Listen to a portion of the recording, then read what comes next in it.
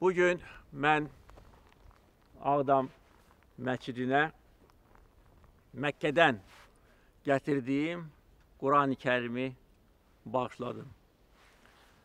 Mən xoşbəxt adamam ki, dörd dəfə Məkkə ziyarətində olmuşam. Bir dəfə rəhmətlik atamla, üç dəfə isə prezident kimi.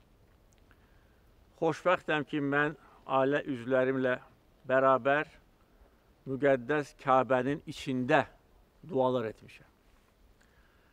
Və hər bir insanın ürəyində nə varsa mənim ürəyimdə də eyni duyğulardır.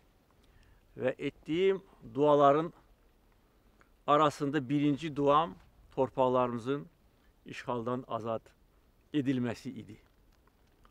Allahdan xahiş edirdim ki, mənə güc versin ki, biz torpaqları işğalçılardan azad edək. O xoşbəxtliyi bizə nəsib etsin. Biz yenə də dədə-baba torpağımıza qayıdaq. Və bu gün burada vandallar tərəfindən dağılmış məscidin önündə deyirəm ki, xoşbəxt adamam.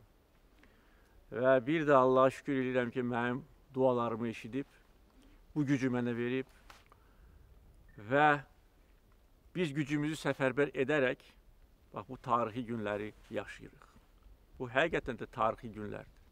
Bəlkə də çox əsirlik Azərbaycan tarixində buna bənzər şərəfli və qürurlu günlər olmayıb.